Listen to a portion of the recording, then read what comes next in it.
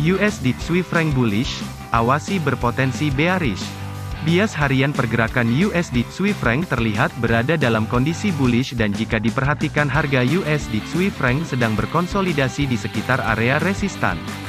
Jika pergerakan USD Swiss franc bergerak ke bawah dan tertahan di sekitar area kritis pada kisaran 0,96065 sampai 0,95905 maka tunggu kemunculan bentuk pola candlestick bearish yang valid dengan memperhatikan juga indikator ADX bergerak ke bawah maka ada potensi harga akan menyentuh area 0.98743 Sebaliknya waspadai jika harga USD Swiss franc terus bergerak ke bawah dan menembus level 0.95905 maka ada potensi harga akan berbalik arah dengan bergerak bullish ke atas menuju level berikutnya pada kisaran 0.95645.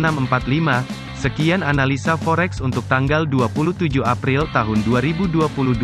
Untuk konsultasi gratis mengenai posisi trading forex Anda, silakan hubungi 081212 983 101.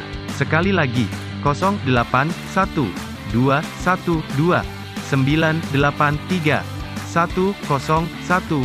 Kami dengan senang hati berbincang dengan Anda. Untuk mendapatkan analisa forex setiap hari, silakan subscribe ke channel ini. Sampai jumpa di video berikutnya.